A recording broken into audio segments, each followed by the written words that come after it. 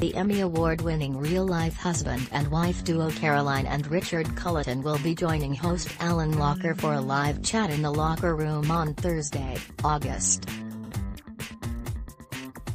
19, at 3 p.m. ET to discuss their amazing careers in daytime television.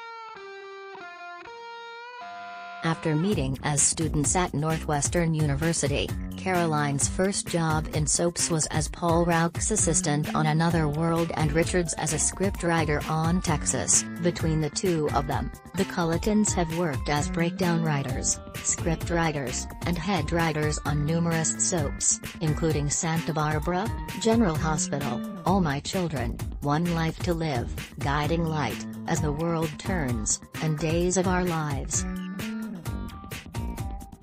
In addition, the pair created the GH spin-off Port Charles.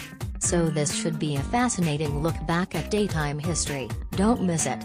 And don't forget to check out the Locker Room's YouTube channel to see all the other fun live chats with soap stars you might have missed. The YouTube shows are also available as audio podcasts and can be found wherever you listen to podcasts on Amazon, Apple, Google, iHeartRadio, Spotify, and Spreaker. Ad block test, why?